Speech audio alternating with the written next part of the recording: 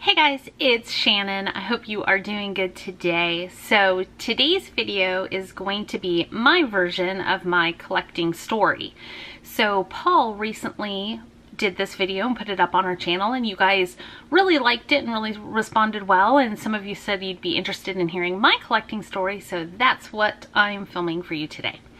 So okay, I haven't really rehearsed this well we don't do that anyway but um, I'm just kind of speaking I speak with my hands a lot sorry I'm just gonna kind of tell you how it is haven't really thought this through so hopefully it comes out okay um, so probably going back to being little, the earliest thing that I can really remember collecting would be stickers.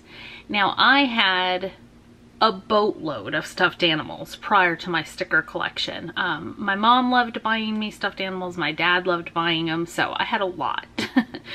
but the, the first thing I really remember collecting was stickers, and I was a sticker queen, let me tell you. I had sticker books, I had sticker albums, I had boxes full of stickers. My friends and I would trade stickers all the time. We'd take stickers to school and at recess and lunch break we'd be trading back and forth. And um, scratch and sniff stickers were very big. they were awesome. That was also the Lisa Frank stickers day, uh, uh Lisa Frank stickers days. Uh, Mrs. Grossman stickers were really big. Um, yeah, I have good memories of my stickers. I wish I still had my sticker collection. So um, I, I actually don't even know what happened to it. My parents probably threw them away at some point. Cause I don't remember throwing them away. I don't think I could have parted with them and thrown them away. But, you know, you grow up, you move on, you lose some of those collections. But hey, guess what? You can recollect as an adult. So apparently I collect stickers again. So this is going to be a really funny video because the things that I tell you that I collected, I'm recollecting. So I don't think that's that unusual actually, but okay, so stickers. Stickers was a big thing.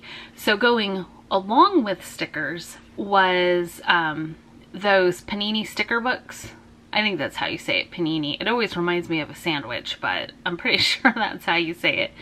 But you know, at the grocery store, you could pick up the sticker album and then you got the little sticker packs, which were like my day's blind bags. You know, you you got the little pack of like five or six, however many stickers, and I couldn't wait to tear open my little pack and see if I got new stickers that I needed for my collection.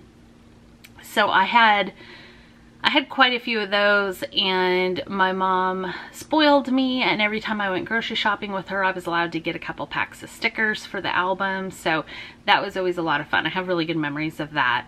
Um, but you know that's still in the sticker realm. Now had there been checklists for stickers back then that would have been dangerous because regular stickers, you know, I would have wanted them all if there was a checklist. Now, the Panini stickers, there kind of was a checklist because they were numbered and, you know, you were going for the whole collection. And I think that's what I liked so much about that. But so there were stickers. Then, I don't necessarily think it was a collection, but I did really like coloring books. I had a boatload of coloring books. Of course, they were just kid coloring books. Um, but yeah, I remember I had a whole bookshelf filled with coloring books. And my friends and I, we would get together and we would color pictures all night at our sleepovers and stuff. And I just always had this dream that I was going to finish a full coloring book. To my knowledge, that never happened, but it's kind of funny because now that I'm filming this, I have that same dream with, I'm looking over here, all my adult coloring books are up there on the shelf and I have this dream like, oh, I'm gonna finish one. so I guess some things never change.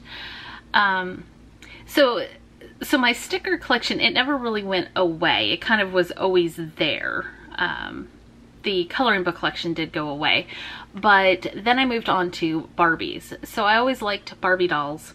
Um, enjoyed playing with them, enjoyed collecting them, but I started collecting Barbie doll fashions and I always liked the fashions more than the actual dolls.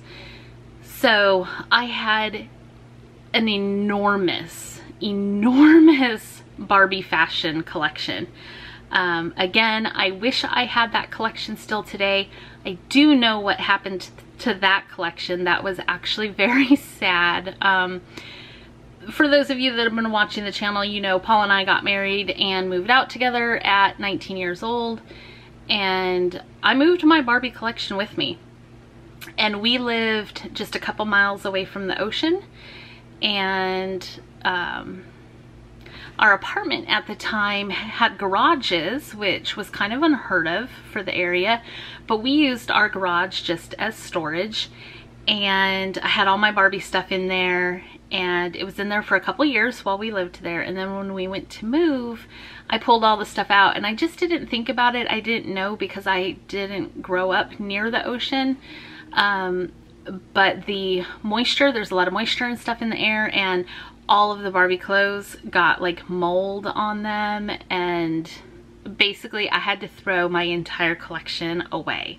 There was nothing I could do to save them. They were ruined.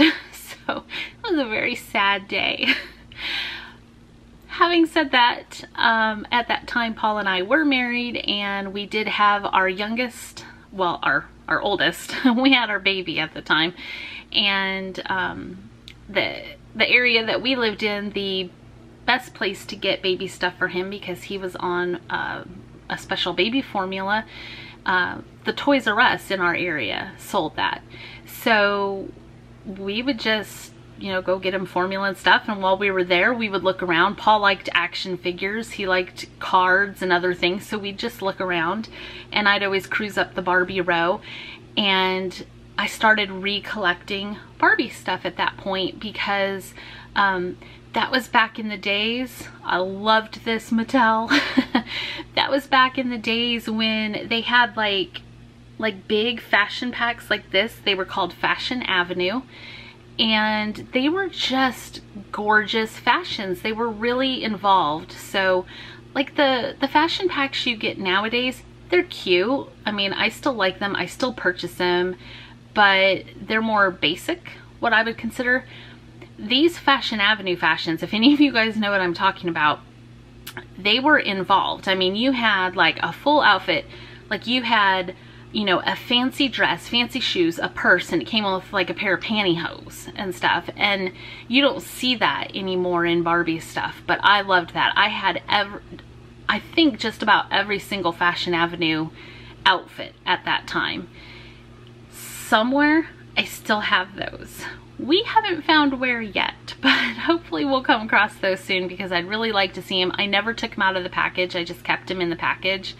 Um, so I'd like to, to come across that. But at any rate, so I moved into a Barbie collection when I was younger and that went right through to being married to Paul and um, and moving out and on with our lives with him. So from there, you know, it just kind of evolved. Um, some collections come, some collections go. Those were kind of what really got me started with collecting. Nowadays, I collect way more than I should. So if you guys watch this channel, you know that I, I like washi tape. I actually get made fun of for that, but that's okay. I make fun of myself. So I collect washi tape. I collect purses. Um, which that's a lot of fun. I can't say I collect shoes yet, but that's something I could see myself collecting. I also collect makeup. I saw some of you wrote that you collect makeup. That's awesome. And what else do I collect? Adult coloring books, I guess. I went from owning like four to like 50 in a couple months, but I don't feel so bad because Paul made me buy him four and he hasn't even ever colored a page yet. So I guess that's kind of normal.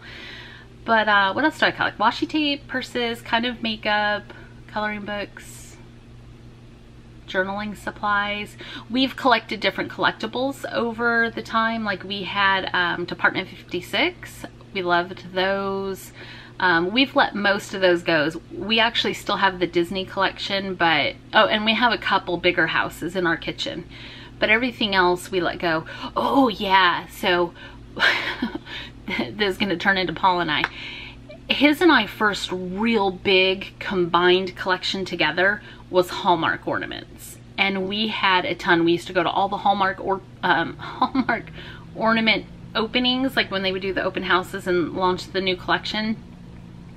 I think at one point we had like over 200 Hallmark ornaments and um, that was that was a lot of fun, but yeah, um, you know, it, it's okay. Collections come, collections go. You know, you find new things that you like and you're willing to let other things go and it's just kind of it's just the process. It's just fun. But some things come back around because I have stickers, coloring books, and Barbies. So, okay, so in case you didn't see Paul's video where he talked about his collecting story, go ahead and check that video out right now. Uh, please leave me a comment. Let me know what you collect if you, you know, didn't already answer his, or you could go ahead and leave the comment again. That would be fun. It's, it's just interesting to see what other people like and collect. So I hope you enjoyed this video. Thank you so much for watching and I'll see you guys next time.